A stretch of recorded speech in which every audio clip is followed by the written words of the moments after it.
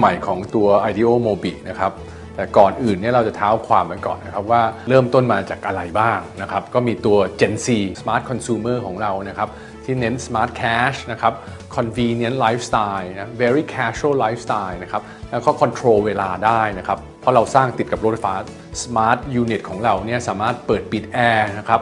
มีติดกล้องวิดีโอได้นะครับดูจากมือถือมีแอปของเราได้นะครับเปิดปิดไฟได้อีก แต่ยุค 2016 นี่เราก็มองดูว่าเอ้ยเราจะทำอะไรได้บ้างอีก ในผู้บริโภคนะครับแฟนคลับของ IDEO Mobi ได้ยังไงบ้าง ผม challenge ทีมเลยครับว่าเรื่องเทคโนโลยีกับ Innovation เนี่ยมีจริงหรือเปล่าเดี๋ยวลองมาดูกัน เราสัมผัสลูกค้าแล้วเรารู้ว่าลูกค้าเราเนี่ยเป็นคน active มาดูว่า innovative lifestyle ที่เราสร้างเนี่ยมีอะไรบ้างนะคะ รถของท่านวิ่งเข้ามาในโครงการ ระบบ access control ตัวนี้นะคะ ก็จะเปิดให้ท่านทันทีนะคะ key card ตัวนี้นะคะ จะลิงก์ไปยังระบบลิฟต์จะเปิด auto แล้วก็ส่งลูกบ้านขึ้นไปยังชั้นที่ลูกบ้านซื้ออยู่นะคะ Internet of Things นะคะ เวลาลูกค้าไม่อยู่บ้านดูผ่านแอปพลิเคชันนะคะ ในห้องของเราเนี่ยมีน้ำรั่ว หรือว่ามีใครเข้าห้องเราหรือเปล่านะคะเราได้เอามาไว้ที่ IDEO Mobi อโศก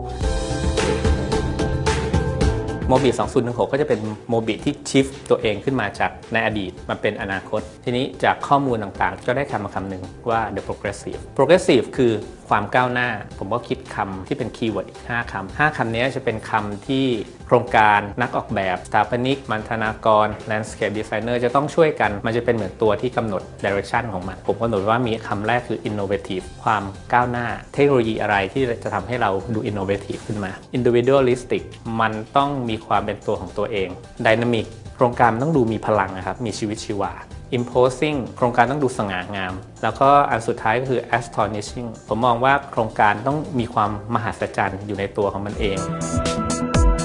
ลืมกฎเดิมๆที่เราทำตึกที่ตรงไปตรงมา 90 องศาสร้างง่ายนะครับ M shape building เนี่ยที่มาที่ไปก็คือเราก็ลองหาวิธีการบิดมุมนะครับหา angle ที่ดีที่สุดที่ให้ทุกห้องเนี่ยสามารถมองเห็นวิวได้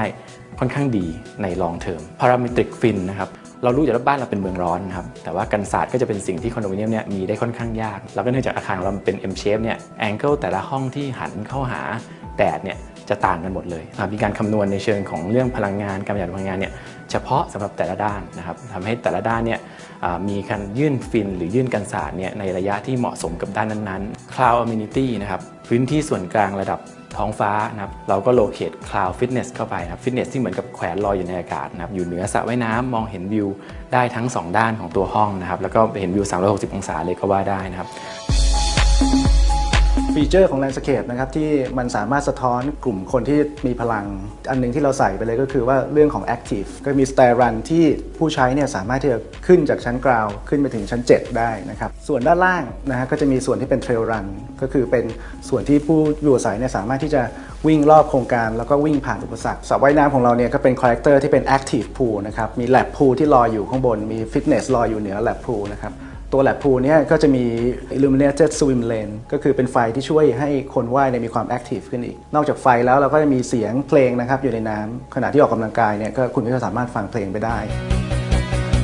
ย่านอโศกเพชรบุรี ซึ่งเป็นที่ตั้งของโครงการ IDEO Mobi อโศกสถานีเพชรบุรียังเป็นสถานีที่มีความสำคัญ ตรงที่มันเป็นสถานี interchange สามารถลิงก์ไปยังแอร์พอร์ตลิงก์สถานีมักกะสัน เชื่อมต่อจุดกึ่งกลางระหว่างย่าน CBD ปัจจุบันอย่างอโศก แล้วก็ย่าน New CBD ในอนาคตอย่างย่านพระราม 9 อยู่ในระยะที่เดินใกล้มากกับมหาลัยชื่อดังอย่างมสว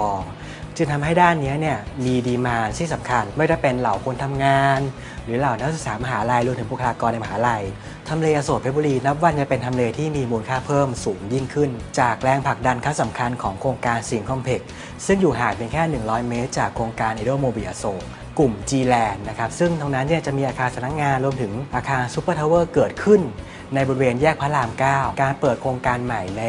ทำเลอโศกสุขุมวิทเนี่ยล้วนแล้วแต่มีราคาที่แพง หลาย ๆ โครงการเน้นห้องใหญ่อยู่ที่ 8 ล้านขึ้นไป ในขณะเดียวกัน IDEO Mobi อโศกสามารถเป็นเจ้าของได้ในราคาที่ต่ำกว่า 5 ล้านบาท ที่มีศักยภาพทางด้านทำเลเทียบเท่ากับเส้น mid สุขุมวิทแต่มีราคาที่จับต้องได้มากกว่า Ideal Mobi อโศกสำหรับผมนะครับมันคือคอนโดมิเนียมที่ถ่ายทอด DNA ของอนันดาได้อย่างดีที่สุด ด้วยการออกแบบที่ล้ำสมัย คือต้องบอกว่า Ideal Mobi ใหม่ ๆ ที่จะออกเนี่ย มันจะเป็น Ideal Mobi โมเดลเชงเป็นการตีความโมบิใหม่ ห้องต่างๆของ a d i o Mobi อโศกนะครับก็จะมาพร้อมกับเพดานที่สูงถึง2เมตร70 The New Era นะครับเป็น The New Era อย่างแท้จริง เป็น One Bed แบบใหม่ที่ไม่เคยเห็นที่ไหนเลย เป็นการดีไซน์ห้องหน้ากว้างทำให้พื้นที่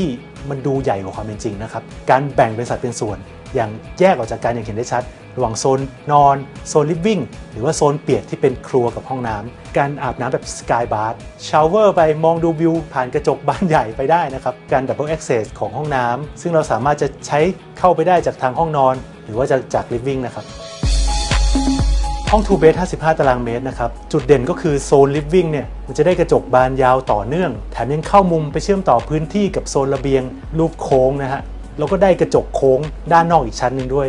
เมื่อเชื่อมต่อพื้นที่กันมันทำให้การใช้สอยฟังก์ชันต่างๆ ลงตัวครับ ที่นี่สุดยอดครับสำหรับผม